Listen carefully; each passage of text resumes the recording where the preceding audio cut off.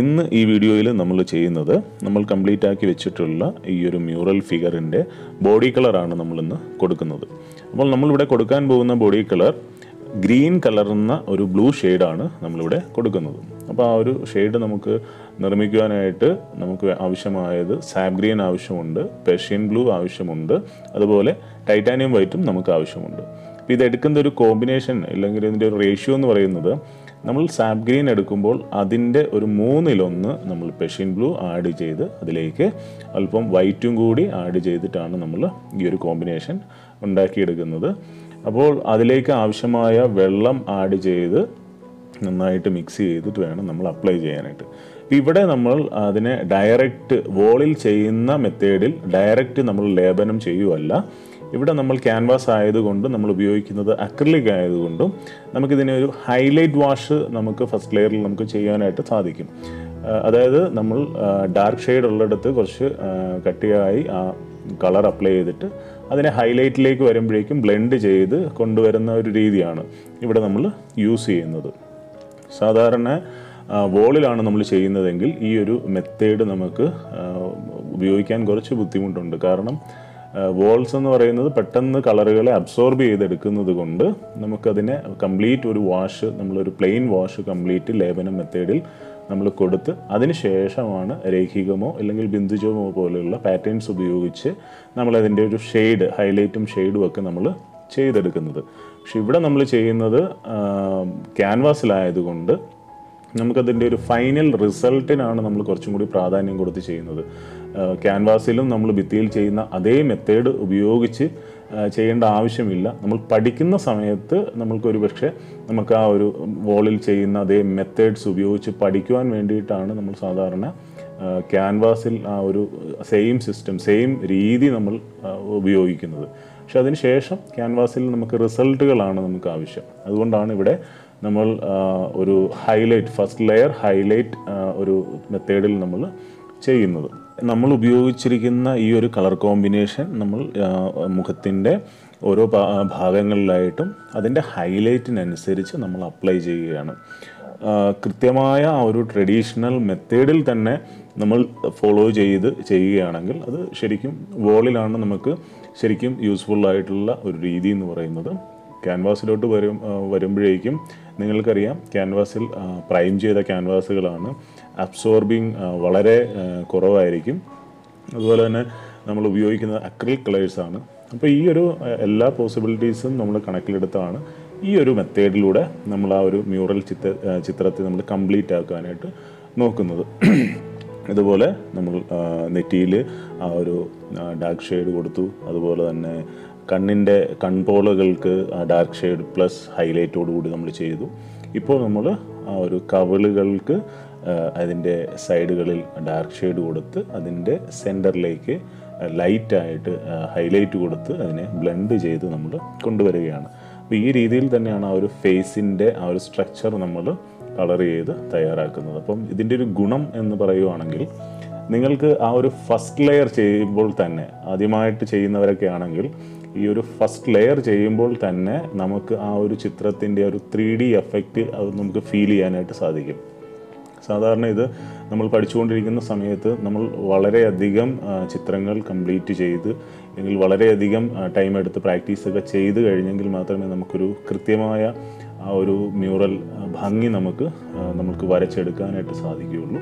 അപ്പോഴേക്കും നമുക്ക് ആ ഒരു കളറിങ്ങിന്റെ മെത്തേഡും ഒക്കെ പഠിക്കുവാനായിട്ട് ഒരുപാട് സമയം നമ്മൾ എടുക്കണം.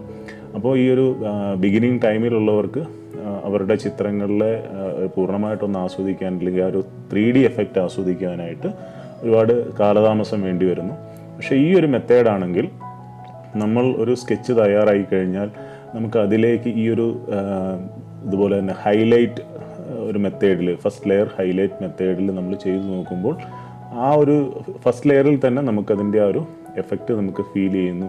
ആ ഒരു ഫസ്റ്റ് ലെയർ ചെയ്ത സെയിം മെത്തേഡിൽ തന്നെ സെക്കൻഡ് ലെയറും കൂടി കൊടുക്കുമ്പോഴേക്കും ഒരു നല്ല പ്രൊജക്ഷനുള്ള ഒരു ചിത്രം നമുക്ക് ഭംഗിയായിട്ട് പൂർത്തീകരിക്കാനായിട്ട് സാധിക്കും.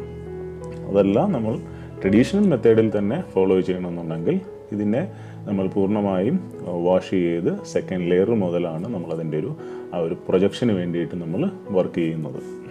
ഇവിടെ ആദ്യം എടുത്ത ആ ഒരു കളർ കോമ്പിനേഷൻ ഉപയോഗിച്ച് നമ്മൾ ഫസ്റ്റ് ലെയർ കംപ്ലീറ്റ് ചെയ്തു. ഇനി സെക്കൻഡ് ലെയറിന് വേണ്ടിയിട്ട് സെയിം കോമ്പിനേഷൻ തന്നെയാണ്. അതിൽ കുറച്ചും കൂടി ഡെപ്ത് കൂടുതലുണ്ടാവണം. അത് സെക്കൻഡ് ലെയർ നമ്മൾ ഉപയോഗിക്കുമ്പോൾ അങ്ങനെയാണ് ചെയ്യേണ്ടത്.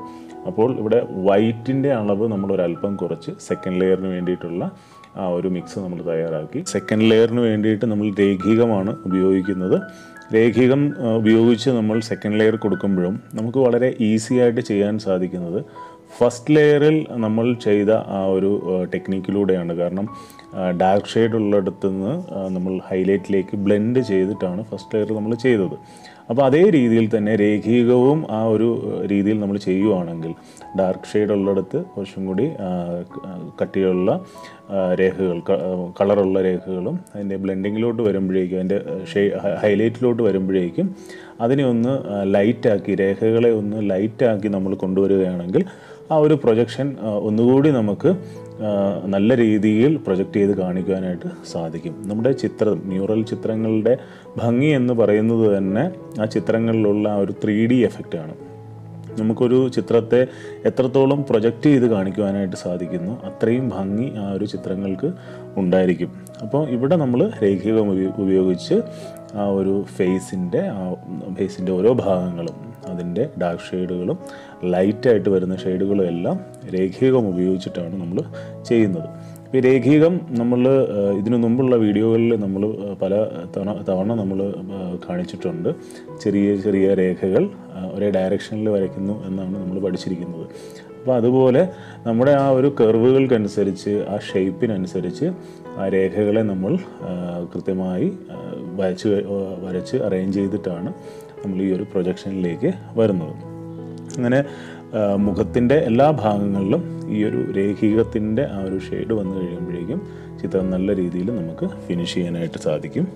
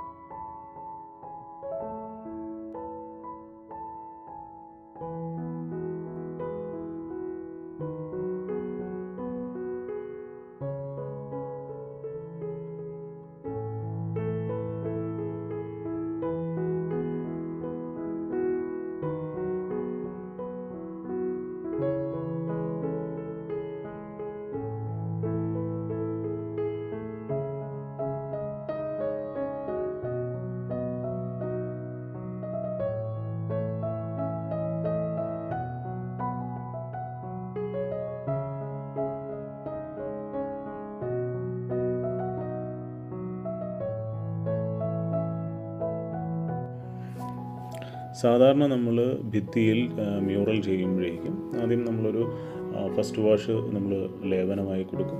സെക്കൻഡ് നമ്മൾ അതിന്റെ ലേപനത്തിന്റെ തന്നെ ഷെയ്ഡിങ് മെത്തേഡോ അല്ലെങ്കിൽ രേഖികം അല്ലെങ്കിൽ ബിന്ദുജം പത്രകം പോലെയുള്ള പാറ്റേൺസ് ഉപയോഗിച്ചും നമ്മൾ ഷെയ്ഡ് ചെയ്യാറുണ്ട്. അപ്പോൾ അത് ചിലപ്പോൾ സെക്കൻഡ് ലെയർ തേർഡ് ലെയർ ചിലപ്പോൾ നാല് ലെയറുകളൊക്കെ ഉപയോഗിച്ചിട്ടായിരിക്കും ആ ഒരു ഭിത്തിയിൽ നമ്മൾ ആ ഒരു ചിത്രത്തിന് ഭംഗിയോടുകൂടി നമ്മൾ വരച്ചെടുക്കാനായിട്ട് പറ്റുക.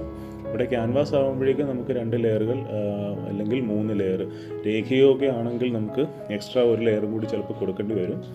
ഫസ്റ്റ് ലെയറിൽ തന്നെ അല്ലെങ്കിൽ നമ്മൾ ഫസ്റ്റ് ലെയർ വാഷ് കഴിഞ്ഞ് സെക്കൻഡ് ലെയർ രേഖികത്തിന്റെ ആ ഒരു ലെയറിൽ മാത്രമായിട്ട് ചിലപ്പോൾ ആ ഒരു ഫിനിഷിങ് കിട്ടാതെ വരും. അപ്പോൾ അങ്ങനെയുള്ളപ്പോൾ നമ്മൾ എന്ത് ചെയ്യുക? ഒരു ലെയറും കൂടി രേഖീകം നമ്മൾ അപ്ലൈ ചെയ്ത് കൊടുക്കുക. അപ്പോൾ അതിന് വേണ്ടിയിട്ട് നമ്മൾ ആ ഒരു കളറിന്റെ ഡെപ്ത് കൂട്ടേണ്ട ആവശ്യമില്ല. സെയിം ആ ഒരു മിക്സ് തന്നെ ഉപയോഗിച്ച് ഒരിക്കൽ കൂടി നമ്മൾ ആ ഒരു രേഖീകത്തെ ഒന്ന് അപ്ലൈ ചെയ്ത് കഴിഞ്ഞാൽ കുറച്ചും കൂടി ആ ഒരു ചിത്രത്തിന് പ്രൊജക്ഷൻ ഉണ്ടാകും അപ്പോൾ ആ രീതിയിലാണ് നമ്മൾ ആ ഒരു ഫേസ് ഫിനിഷ് ചെയ്യേണ്ടത്. പിന്നെ നമ്മൾ ഏത് ചിത്രം വരച്ചാലും അതിന്റെ ഒരു ബാക്ക്ഗ്രൗണ്ട് നമ്മൾ ശ്രദ്ധിക്കണം. അത് ഒരു ചെങ്കല്ലിന്റെ കളർ മിക്സ് ചെയ്തെടുക്കുക. അപ്പോൾ ചെങ്കല്ലിന്റെ ഒരു ബാക്ക്ഗ്രൗണ്ട് കളർ മിക്സ് ചെയ്തെടുക്കാനായിട്ട് നമുക്ക് yellow ochre red red vermilion hue അല്ലെങ്കിൽ സ്കാർലറ്റ് ലേക്കോ നമുക്ക് ഉപയോഗിക്കാം. അപ്പോൾ ഈ ഒരു രണ്ട് കളറിന്റെ കോമ്പിനേഷനിലേക്ക് നമുക്ക് കുറേയും കൂടി ട്രഡീഷണൽ ആയിട്ടുള്ള പഴയ ആ ഒരു ചെങ്കലിന്റെ കളർ കിട്ടണമെന്നുണ്ടെങ്കിൽ ഈ രണ്ട് കളറുകളുടെ കൂടെ ഒരല്പം വളരെ കുറച്ച് ഗ്രീൻ ഒന്ന് ആഡ് ചെയ്ത് കഴിഞ്ഞാൽ നമുക്ക് നല്ല പഴയ ആ ഒരു വിത്തി കളർ നമുക്ക് കിട്ടും. ഇതുപോലെ ഹൈലൈറ്റോടു കൂടി നമ്മൾ കളറുകൾ എല്ലാ ഭാഗങ്ങളിലും ചിത്രത്തിന്റെ എല്ലാ ഭാഗങ്ങളിലും അപ്ലൈ ചെയ്തതിന് ശേഷം അവസാനമായി നമ്മൾ ചെയ്യുന്നത് കറുപ്പ് എഴുതുക അല്ലെങ്കിൽ ബ്ലാക്ക് ഔട്ട്ലൈനിങ് കൊടുക്കുക എന്നുള്ള കാര്യമാണ്. അപ്പോൾ ആ ഒരു ബ്ലാക്ക് ഔട്ട്ലൈനിങ് നമ്മൾ ഡിസൈനുകളിലാണെങ്കിലും രൂപത്തിലാണെങ്കിലും ഉടയാടകൾക്കാണെങ്കിലും ബ്ലാക്ക് ഔട്ട്ലൈൻ കൃത്യമായ രീതിയിൽ നമ്മൾ കൊടുത്തതിന് ശേഷം നമ്മൾ അതിന്റെ കണ്ണ് തുറന്നിട്ടാണ് ഈ ഒരു ചിത്രം നമ്മൾ അവസാനിപ്പിക്കുന്നത്. അപ്പോൾ ഈ ഒരു ചിത്രത്തിന്റെ പൂർണമായിട്ടുള്ള ഒരു ഷെയ്ഡ് കാര്യങ്ങളെല്ലാം നമ്മൾ ചെയ്തിട്ടുണ്ട്. ഇനി അതിന്റെ ഫേസിന്റെ ഡീറ്റെയിലിംഗ് ഫേസ് ഡീറ്റെയിലിംഗ് എന്ന് പറയുമ്പോൾ ആ എല്ലിഡ് ഐ നോസ് ലിപ്പ് ഇതൊക്കെ ബ്ലാക്ക് ഔട്ട്ലൈൻ ഇട്ട് കണ്ണ് തുറന്ന് തുറന്നു കഴിഞ്ഞാൽ നമുക്ക് ഈ ഒരു ചിത്രം ഫിനിഷ് ആക്കാം. അപ്പോൾ ഈ വീഡിയോ നിങ്ങൾക്ക് എല്ലാവർക്കും ഇഷ്ടപ്പെട്ടെന്ന് വിചാരിക്കുന്നു. ഇഷ്ടപ്പെട്ടെങ്കിൽ നിങ്ങൾ ലൈക്ക് ചെയ്യുക നിങ്ങളുടെ അഭിപ്രായങ്ങൾ കമന്റ് ചെയ്യുക. ഈ ഒരു ചാനൽ സബ്സ്ക്രൈബ് ചെയ്തിട്ടില്ലെങ്കിൽ തീർച്ചയായിട്ടും പുതിയ പുതിയ നല്ല വീഡിയോകൾക്കായി ചാനൽ സബ്സ്ക്രൈബ് ചെയ്യുക. അടുത്തൊരു വീഡിയോയുമായി കാണുന്നതുവരെ ബൈ ബൈ